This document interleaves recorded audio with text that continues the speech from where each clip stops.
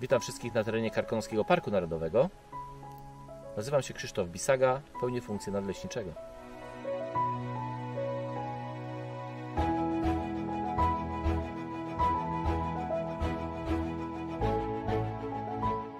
Szkółka Karkonoskiego Parku Narodowego. Tutaj aklimatyzujemy sadzonki jodły i buka, które w okresie wczesnej wiosny zostaną wysadzone w drzewostanach Karkonoskiego Parku Narodowego.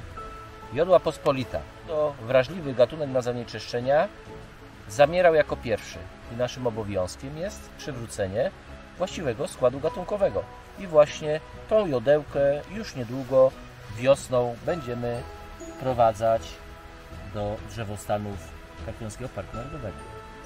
Jodełka z zakrytym systemem korzeniowym jest przygotowana do wysadzenia. Ściągamy taki plastyk i w wykonany dołek wsadzamy taką sadzonkę w różnych miejscach. Najlepiej blisko starych pniaków, w terenach wilgotnych.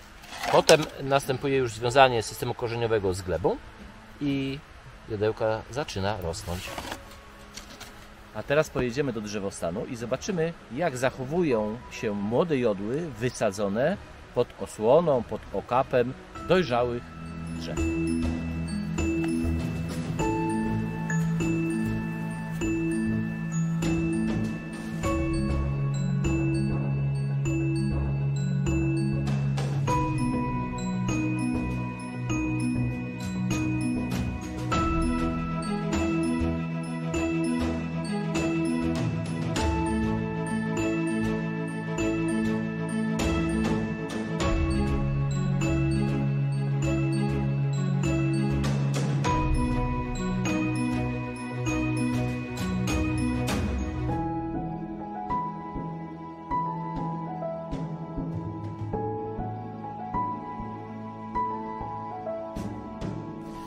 Znajdujemy się na powierzchni, którą leśnicy określają uprawą leśną, na której to zostały wysadzone jodły.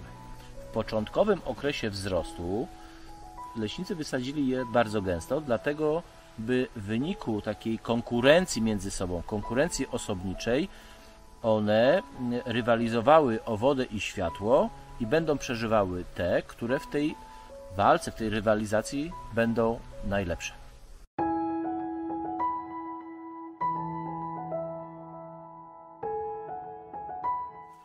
Podejdziemy teraz do grodzeń wielkoobszarowych jodły i powiem Wam, dlaczego stosujemy żerdzie poprzeczne i skośne w tych grodzeniach.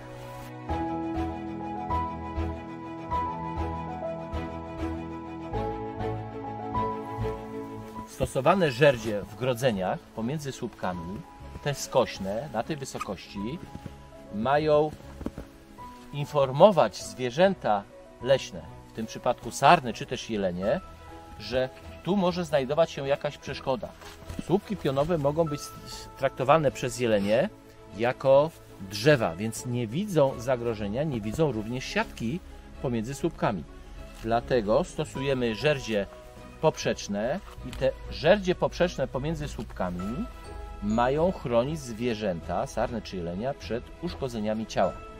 Przypadku żerdzi dolnej to jest zabezpieczenie przed dzikami, żeby dziki nie mogły podnosić siatki, bo dzik, kiedy podniesie siatkę na wysokość pół metra, jest to doskonałe miejsce i przez taką wąską dziurę może się do wnętrza tego ogrodzenia przedostać chociażby sarna i skorzystać z dobrze zaopatrzonej stołówki.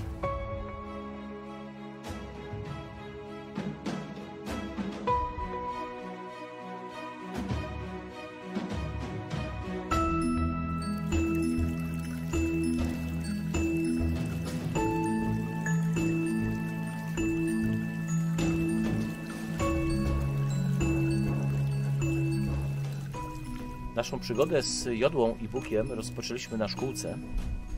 Później oglądaliśmy uprawy jodłowe, później starsze młodniki, aż wreszcie możemy przedstawić taką tyczkowinę jodłową 20-letnią, 25-letnią, która jest charakterystycznym elementem w fazie przebudowy drzewostanów regla dolnego w Karkonoskim Parku Narodowym. Pomiędzy poszczególnymi osobnikami jodły znajduje się bóg, znajduje się brzoza, znajduje się jarzębina e, i ten e, wielogatunkowy skład drzewostanów wzmocni te lasy w przyszłości. One będą zdrowsze, e, one będą bardziej odporne na zmienne warunki klimatyczne w postaci silnych wiatrów, a w okresie zimowym szadzi czy okiści.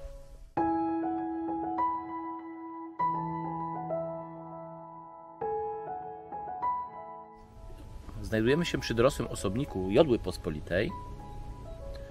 Widoczne są ślady numeracji. Ta numeracja była związana z procesem restytucji jodły, gdzie na początku lat 90. zinwentaryzowano wszystkie dorosłe osobniki jodły, ponumerowano, założono kartoteki, w których zawarto takie informacje jak wysokość, pierśnica, żywotność korony. Z tych dorosłych osobników pozyskiwaliśmy szyszki z drzew stojących, a z tych szyszek nasiona. Z tych nasion powstały sadzonki, które zostały później przygotowane do wysadzenia e, w lasach dolnoreglowych Karkonoskiego Parku Narodowego.